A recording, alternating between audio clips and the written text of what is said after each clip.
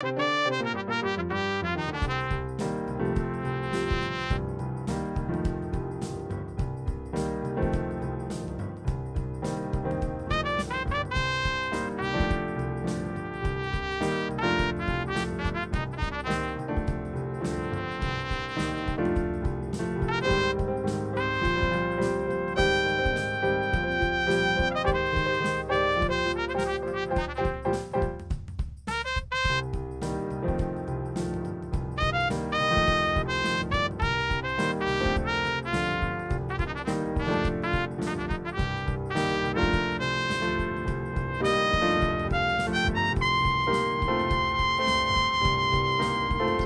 広島カープ塾始めます。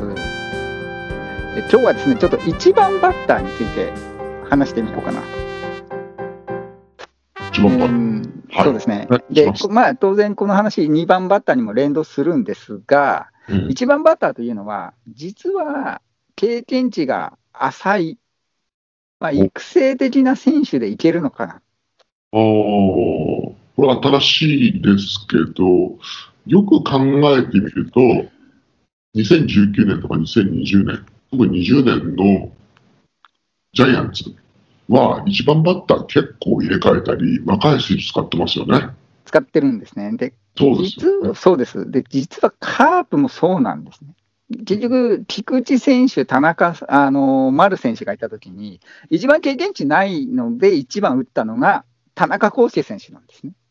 あー別に丸選手だったり、菊池選手だったらよかったですもんね、別に。ええ。田中選手を一番に抜擢。で、あの時田中選手はまだ若あの年数は短かったですから、社会人からのドラフトなので、ええ。最初7番とか8番とか、7番そうですね、7 7番とか 8, 8番とか、ええ。こういうので打って、抜擢は1番にしてるんですね。で、これ、うん。他球団もそうなんですね、青木選手の1番とか、イチロー選手の1番とか、まあ、カープでいうと高橋義彦選手とか、実は三やっぱり3番というのはある程度の経験数がある人、要は1番で結果出してる人、高橋義彦選手、1番から3番なので、言われてみれば、イチロー選手、いきなり彗星の方とかありましたけど、1番で出てきましたけど、その前まで別に実践なくて大抜擢ですもんね。そうですね、で石井選手も1番スタートなんですね、ルーキーの時まあ、下位打線もありますけれども、あれだけイチロー選手が一、まあ、大抜擢して結果出しても、3番を打たせなかったですもんね。打たせなかったです。あと、ライトの入れ替えもありましたそうです。ね、ある程度、3、4年1番なんですね。ですよね。ええああ。で、これがじゃあ、イチロー選手の1番外したのは、田口選手が入団した後なんですね。うんなので、1番というのは育成的な要素があって、実は経験値を問われないんですね。あ打順の中で私としては1、5番、まあ当然、この上位という面で5番までを入れたときに、1、5番が一番経験数が問われないと思ってますので、なんかこう、いわゆる若鯉とか言いますね、若い選手そうね、若鯉は1号がいいということですかね。そういうことになりますね。要は打点を取る若い選手で、長打が打てる選手は5番。おはい。で、出塁して、まあとにかく塁をかき回すような選手、例えば東出選手と木村拓哉選手の場合、1番東出選手なんですね。ああ、なるほど、なるほど。で、ソユジ選手が来たら、ソユジ選手なんですね。だから、プロに入った年数順でいうと、1番の方が、プロ年数が若いんですね。そう考えると、田中康介選手一番、なんか譲りたくないっていう気持ちはまあいいんですけど、まあ実は若手の台頭を抑えたいっていう本能が働いてるのかもしれない。働いてるのかもしれない。逆に言うと、今のカープで言ったら、えー野間選手とか、一軍の打席数で言ったら、野間選手とか、はい大森選手とか、初木選手とか、まあ、あの打席数で言ったときには、上本選手とか、その選手が1番の方がいいんですね。なるほど。で、下位打線の8番の方が重要、まあ、ここはちょっと別の収録で言ってますけれども、ええ8番の方と2番と8番は問われますので、ああ、なるほど、なるほど。なるほどね。ああ、そういうことですね。うん。なので、逆に言うと、8番を任せたいんだけどって言いながら、ファームで打って抜擢したために、打撃のバッテリーで1軍に呼んだ場合は、1番で使った方がいいってことなんだよね。一番はなんかこう、あまり決めずに、調子というか状況によって、こう人を入れ替えていくという感じがいい。そういうことですね。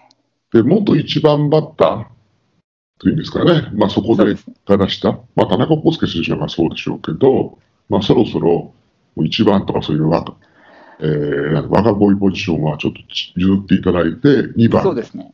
どうですか？そうですね。経験値を問われる打順、2番とか、もしくは3番とかね。はい。まあちょっと別件であの野球にも IQ があると。野球 IQ っていうのがあるんじゃないかということで言うと、1番はちょっと低い、正直に言うと低いですよと。で、2番は高いということですね。そうですね。というか、やるのに技術がいるんだと思うんですね。す頭で分かったことが多分一軍に来たての選手はできませんので、えーいっぱいいっぱいでしょうからね、いろんいなこと。っぱいいっぱいでしょうから、まず自分の成績残すことがいっぱいいっぱいでしょうから、そこに、まあ、注力させるってことなんですね。他の野球のチームプレーは考えなくていいよと、ほぼ。うん。そう考えると、今あなんか、なたを抜擢したのは、今あなたの技術を抜擢したので、はいそれを全部吐き出してくださいと。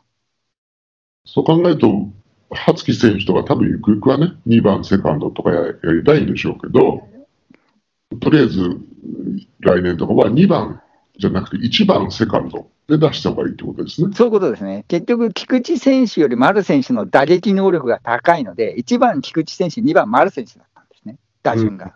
うん。なるほどね。ああ。そういう面では、やはり打撃能力、要は菊池選手も丸選手も似たようなこう成長曲線でしたから、あの、2021年、えー、例えば小園選手とかが出てくるということであれば、2番とかです1番、ショもうート1番ですね。もしかしたらだから8番とかでも使わないで1番ですね。8番ですね。8一番を割合こう、一8番で使うぐらいだったら5番のがいいってことですね。そうですね。だから1番か5番か7番なんですね。奇数なんですね。ああ、157ってことですね。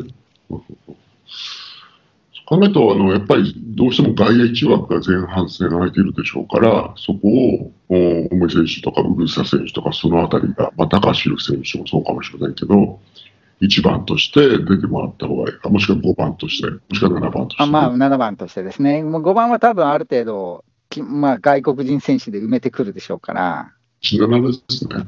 ああここを頑張った方がいいということですね。そうですね。あと、まあ、もしくは長野選手を3番とか5番で使えば、別にそこのクリーンアップの問題は解決はしますので、なので、長野選手の1番というのもやめた方が、今のメンバーの場合はやめた方がいいと思うんですね。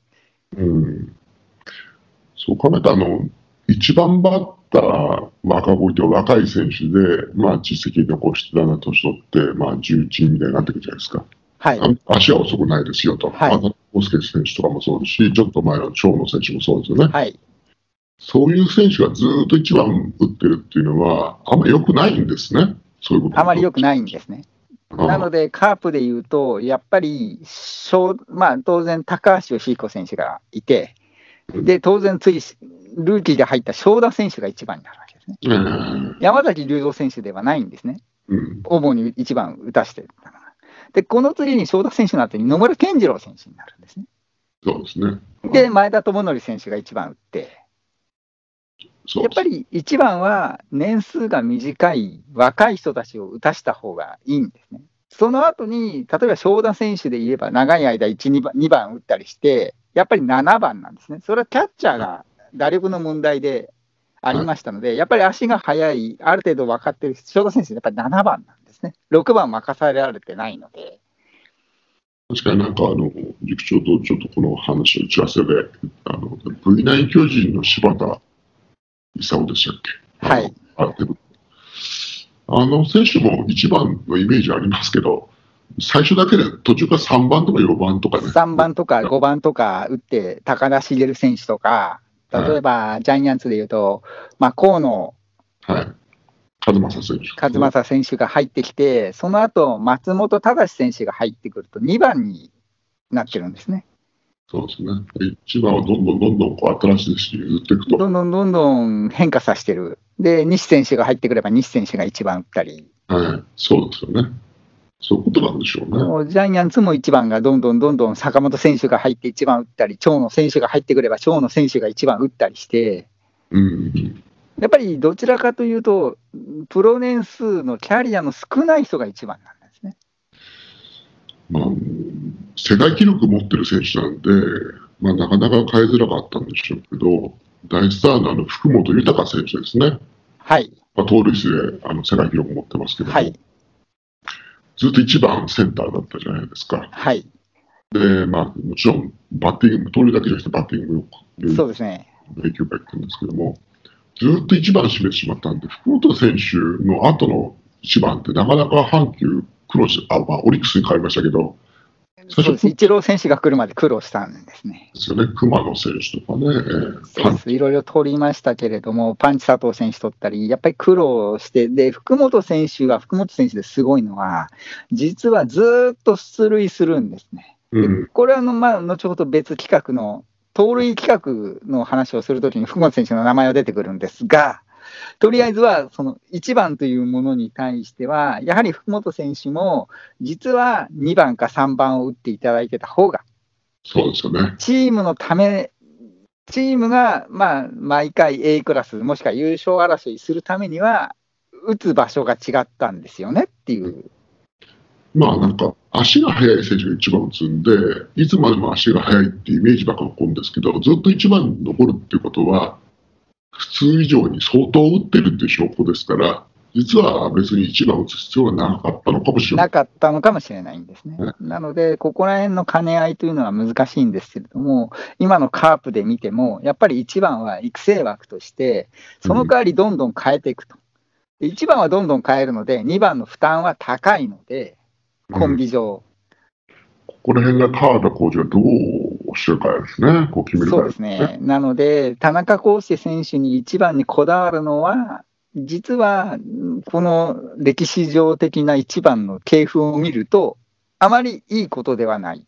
そうですね。うんなんとなく一番の選手がずっと固定されてるのは、あんまり強いチームのイメージは、そうでなす。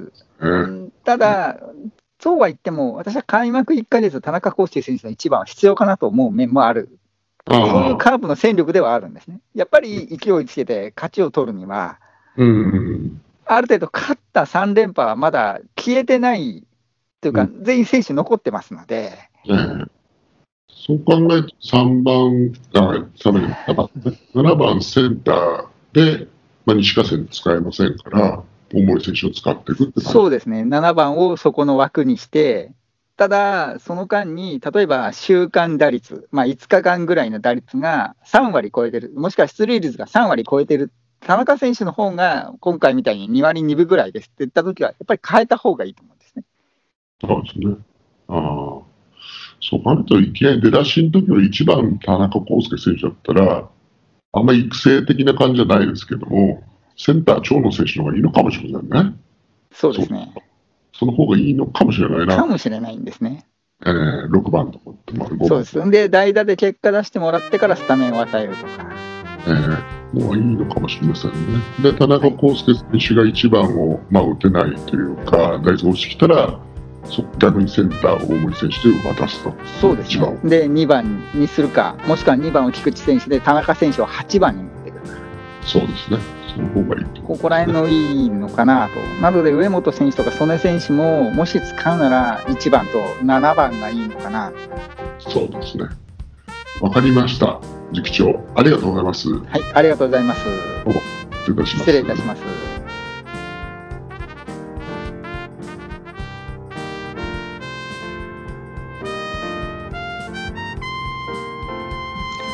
チャンネル登録をしてもらうと励みになります。